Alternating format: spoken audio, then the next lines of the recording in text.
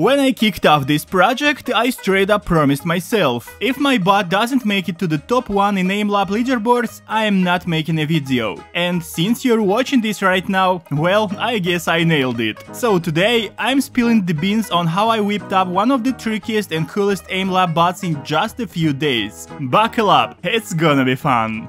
Okay, uh, first off, if anyone's living under a rock and doesn't know what AimLab is, basically it's a super popular game, especially among esports pros, and gamers use it to grind for a better aiming skill. Sharpen that flick shot, to track enemies smoother, you get the idea. So what's the reason for me to make a bot for this game? As always, because it's fun. Plus I wanted to challenge myself. But hey, I'm not a bad guy, I won't make things worse, since AimLab's top leaderboards is already full of cheaters. Just look at this, no way a human can score that much. Besides, we will not use any cheats, instead we are gonna train our custom AI. And before we begin, my bot ain't gonna make it to the top 1 without your support, so make sure to smash that subscribe button. And with that being said, let's dive in.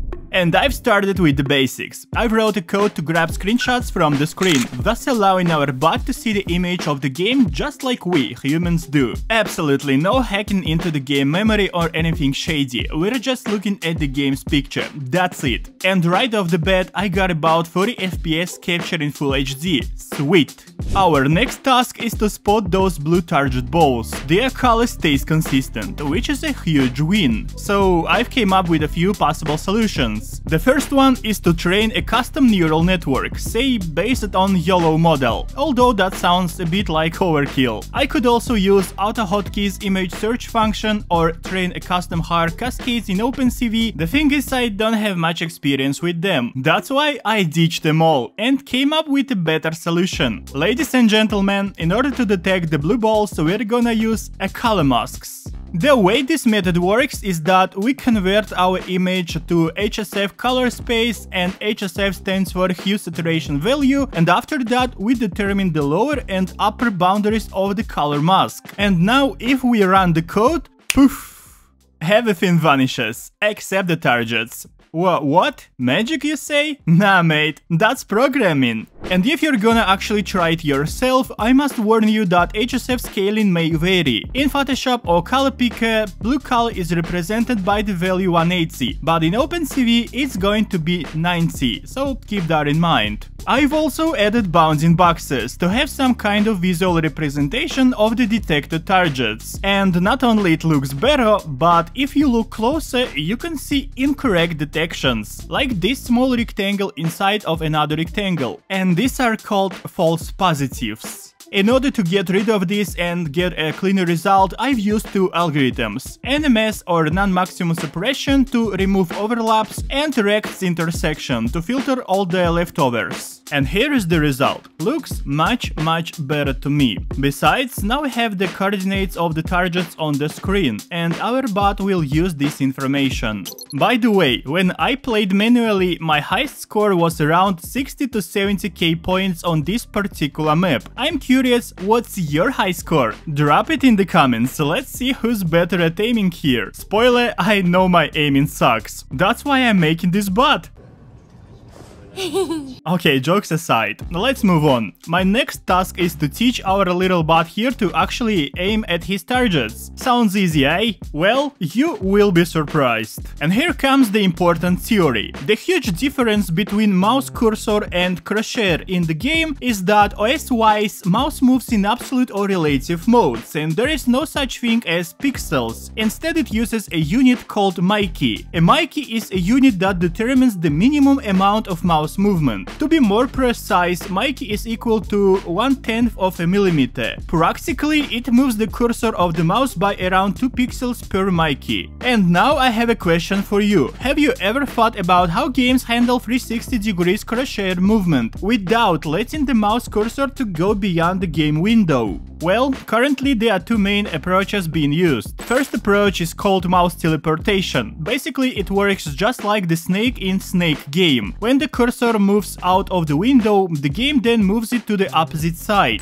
The second approach relies on fully blocking your mouse at the same position, usually that's the middle of the screen. And to get the mouse movement vector, the game detects cursor displacement between the frames. One more thing you should understand is that most games are made in 3D space, but your monitor can only display 2D image, thus it only has two axes, X and Y. So how does the game engine transforms 2D mouse cursor movement into 3D space inside the game? You're gonna love it. The answer is angles. Game engine developers write special functions to translate 2D mouse movement coordinates into angles. Of course, they also consider such things as FOV or the field of view. Literally, everything is involved into crosshair and mouse movement calculations. Now you may ask me, howdy, why on Mother Earth you explained all of this right now? Well, my partner in crime, that's because without it you would not understand how it works. You see, the issue here is that we cannot simply move the cursor along blue bolt detection coordinates and expect the game to move the crosshair to the same position.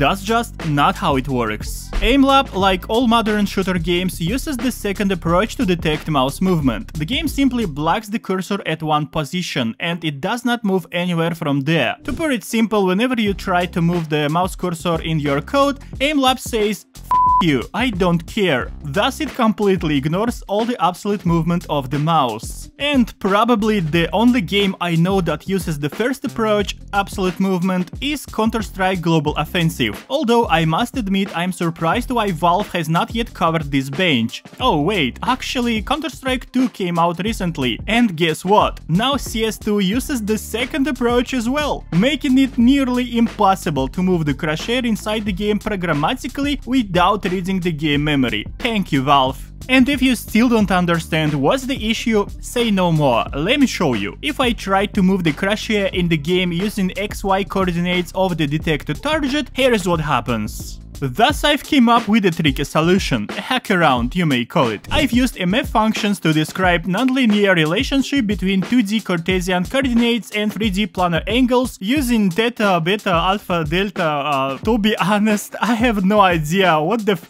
I'm talking about. But the code I wrote somehow works, although the accuracy is not perfect. And if you want some sort of explanation, well, here you go. You can pause the video and enjoy this whiteboard I've came up with while brainstorming the algorithm for the code. Again, that's not perfect, but at least it works. And as we coders usually say, if it works, don't touch it. Okay, now let's run the code and see how it works. Let's do some testing. To be honest, I was flabbergasted, because it behaves like a human, and I swear it's not me aiming the mouse. Here, look at this, that's the bot. I mean, yeah, for sure, it looks awesome. But don't forget about our ultimate goal, ladies and gentlemen, and that is to get top 1 in AimLab scoreboard. Once again, looking at how our bot currently aims, I would say even my grandma will do it faster, so we need to optimize the aiming speed. So I've made some changes to the code. Instead of moving the mouse slowly towards the target, I've tried to make it a single shot mouse movement. It's still not as accurate, although it should aim faster now, so let's try that.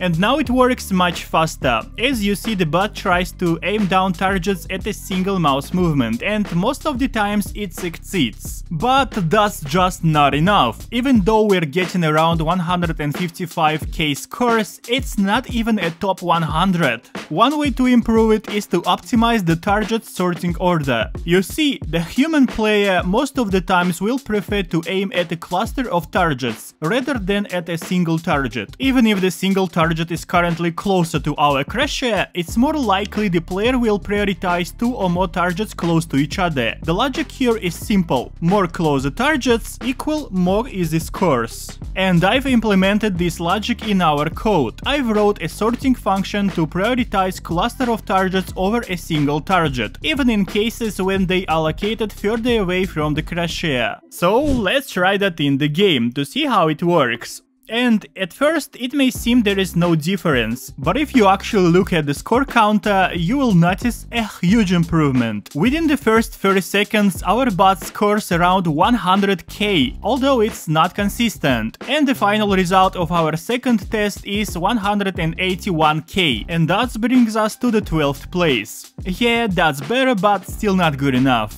So what else we can do? Probably one last thing that left is to fine-tune the timings. For example, let's play with delays and intervals in the code. Few minutes after, I came up with these values. I've set pause delay after mouse movement to 90 milliseconds. And now I'm actually out of ideas on how to optimize the aiming, so let's hope it'll work. This time I was a bit worried, because if the bot would not land a first place, that means I would not publish the video, as you remember. But since you're watching it right now, that means we're finally made it! Our bot scored 193k, and it means we're now made it to the first place in the AimLab leaderboard. Sweet! And you will not believe it, but I've actually ran the bot few more times, and now it made over 200k scores. Wow!